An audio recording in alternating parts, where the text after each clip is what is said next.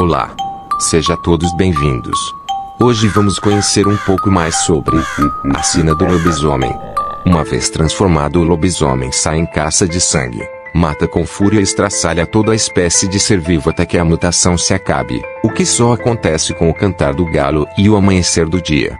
Alguns afirmam que o lobisomem prefere o sangue dos bebês pagãos, por isso no interior as mães se apressam em batizar seus filhos o mais rápido que podem.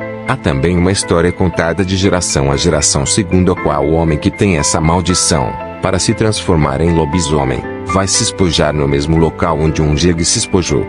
Enquanto cumpre esse ritual repete algumas palavras do livro de São Cipriano. Em Rondônia, disse que se o homem lobisomem não percorrer, antes do amanhecer, sete cemitérios na noite em que se transforma, não consegue mais voltar à forma humana e permanece eternamente transformado em fera. Esse foi mais um resumo. Quem gostou deixe o seu gostei. E inscreva-se no canal para mais vídeos como esse. Obrigado a todos.